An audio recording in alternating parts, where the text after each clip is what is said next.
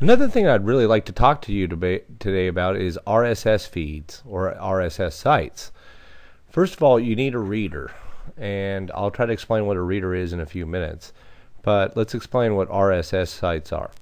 Normally, we have things called favorites right here, and then we have favorites on one side. Now, on the other side, we have something called feeds.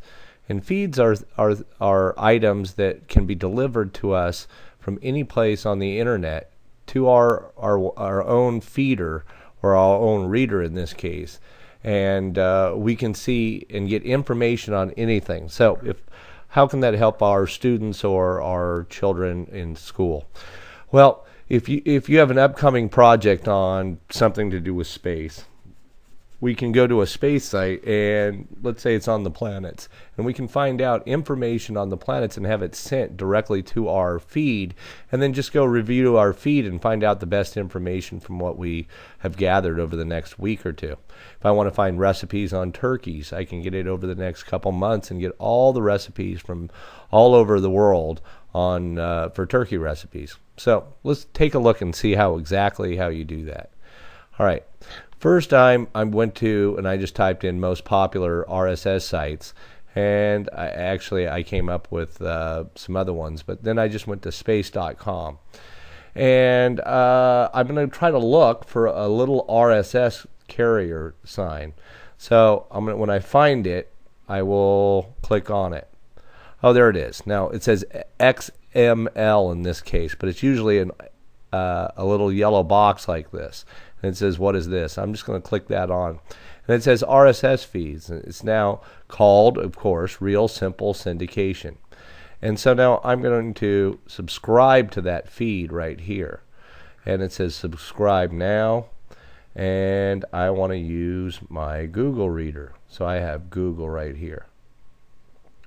And so now I go back to my Google Reader and it's going to add. It says you're not subscribed to this feed yet. So now I have to subscribe to it. And once I do that, I'm now going to have all the information that comes from space.com and all the new information that comes from that website. I can even type in queries on exactly specific information that comes to me. So if I don't want to just see everything that I just want to see on planets, I could actually do that also. Now this is a, this is a reader, and so this is Google Reader. It's free, and uh, you can download it from Google uh, www.google.com.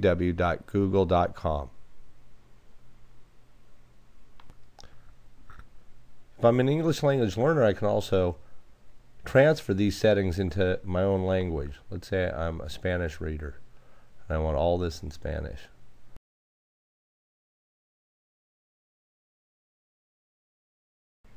I'm going to go to my website that uh, is a free website so that you can also write this down www.mrborden.info or mrb.bz. And I'm going to show you how I've embedded uh, videos into my website and how I can link this to online learning modules. First, I'm going to go to the math site and I'm going to go take a look at geometry. And what I've done is I've actually um, embedded different codes for math videos that came from the Prentice Hall website. So that when I go to this site, you're going to see a teacher teaching you or your student or son or daughter about math. Hi, my name is Miss Blake and I'll be helping you with the sides of a parallelogram. Let's first go over this key concept. States the opposite sides of parallelograms are congruent, which means now what we're going to find is that um, all these different uh, online learning sites have sub, uh, various subjects so that you can access any of the other subjects that uh, you might need help with or your child needs help with. Let's go take a look at some of the other subjects that Prentice Hall has available when we go to phschools.math. We go up here to this site and I'm going to increase that. Let's go to the language arts section. And let's go to our textbook compare, um, companion site, excuse me. So I can kind of look at which grade my student is in. I can look at the book that I have and I can access the information. Let's say it's a ninth grade literature book. So I can go to, oh, there's sixth grade, seventh grade, ninth grade literature book. And I have poetry, video clips, crossword puzzles, self tests, and all sorts of other things that students can access to help them, engage them in learning about short stories, fiction, nonfiction, themes in literature, and heroism, which are all part of the California standards. Not only uh, is this a good site, but the, pretty much every, every textbook today comes with an online learning site. Again, this is phschool.com. This is glencoe.com site and it also provides many different tools that can be accessed by both parents and students as well as teachers. I just typed in California and I'm going to hit student parent and we can pretty much go to any subject that we'd like to investigate since mathematics seems to be one of the ones that students struggle with most and parents struggle with teaching their children. Let's go to their math site and see what it has. So I click on that and it pretty much gives me all the different math books and the skills and the concepts necessary for students to be able to pass mathematics. So let's go to grade 6 and find out exactly what this California program has to offer. We get to this and it has problem solving techniques and problem solving. So as a student I can work in my workbook. I can go to studentsnetworkplus.com. I can go to a scavenger hunt. I can have a math review. Let's go to the math review. And as long as I have Adobe Acrobat Reader, I guess I can pretty much view any of these different uh, different uh, let's see if they're videos or they're at least some knowledge that aligns with your student's textbook. There it is. It's a PDF form. So it gives me in full color exactly how to do something and maybe I can help explain that to my child or to my student. So that's Glencoe's. And that's just a little bit of uh, as to what online learning modules can do for your child or your student.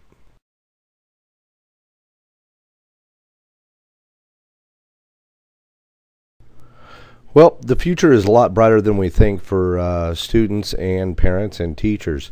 Um, I'm right now in a 3D virtual website called Second Life. You can go to www.secondlife.com and you can access this site. It is free. Um, you create a virtual character. There's my virtual character, and uh, it allows us to uh, communicate and uh, interact with others as well as it does the environment itself. And I'll kind of show you what I'm talking about. We're going to go over here to the cell landmark site and we'll go over to here. I want to keep this card and it's going to talk to me about all the different things. We're going to move real quick and I'm going to move over and show you the virtual site itself. So what we're going to probably want to do is teleport to excuse me, one of these other sites. So once I go back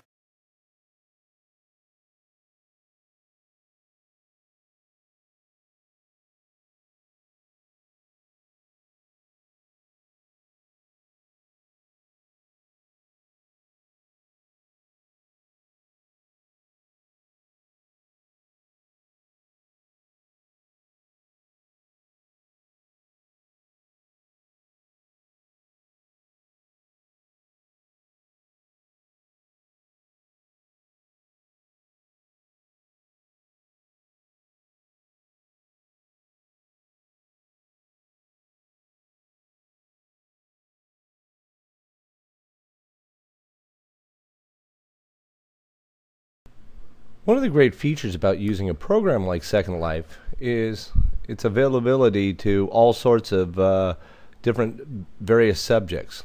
I'm going to scroll through and we're going to kind of look at some of them. Here's a virtual state fair where we can probably, it's directed towards education. Um, here's one from the National Science Foundation. Language Lab teaches English to students from 45 countries. Very good. Uh, let's keep going and see if we can't figure out some things for some younger kids. Okay, I found a site called Virtual Africa, and here's the ranger station where students can go explore Africa and uh, investigate some of the the things that uh, Africa is having a problem with. Also, it will show different and various animals so students can um, interact with those kinds of animals. Uh, you can speak also using these things. So let's keep going. Let's see if we can't find something. All right, there's a speech by Nelson Mandela. I don't know if we're going to go into the teepee. I'm sure there's some other places that we could probably teleport to.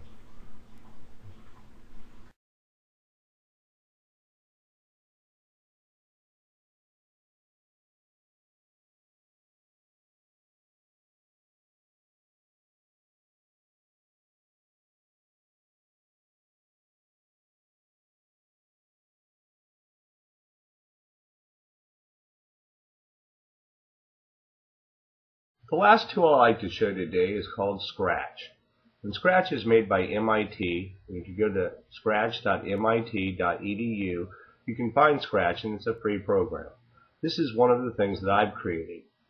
And you can see it's an animated volcano. Now they have many different projects that you can basically download. You can download my project right here for free.